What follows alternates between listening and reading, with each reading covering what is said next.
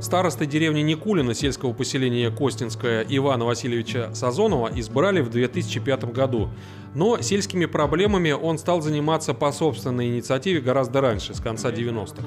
Никулина состояла тогда из 17 домов и считалась неперспективной деревней.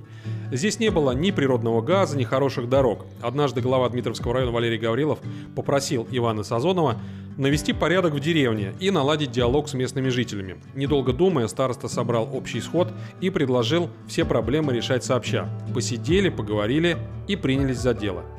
Я собрал народ, вот. народ поддержал и стали здесь наводить порядок. Значит, вот за это время здесь построили дорогу, поменяли э, столбы, часть столбов освещения, провода поменяли, а трансформаторную подстанцию поменяли, вот, пруд почистили. Правда, очень долго к этому шли, вот, но все равно почистили. Э, значит, э, народ здесь э, всего 50 домов у меня здесь. Газ провели только в 24 дома. Да.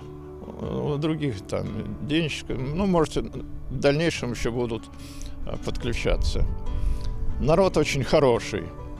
Вот. Вначале меня пугали, что здесь такой э, грубый там и так далее. Ничего подобного. Как ты будешь к ним относиться, так они к тебе будут относиться. Вот. Народ добрый, с пониманием. Вот выходил несколько раз устроили водопровод. Вот. Колхоз нам помогал, помогал, вернее, сельсовет Тамара сильно меняли скважину. Вот. Работает э, нормально, хорошо. Своей основной заслугой Иван Васильевич считает газификацию деревни. Этим нелегким делом он занялся еще в 2005 году. Долго оформлял документы, убеждал сельчан в необходимости природного газа. И вот спустя пять лет в деревне состоялся пуск газа. Правда, получила его лишь половина сельчан, 24 семьи, ведь каждому домовладению голубое топливо обошлось примерно в 300 тысяч рублей. Но на этом староста не остановился. Через местные власти он добился модернизации деревенской энергосистемы, ремонта деревенской дороги, организовал вывоз мусора. Есть в деревне и общественная скважина с чистой водой. Якобы нашей деревне 250 лет. 250 лет. Вот надо бы как-то это дело отметить.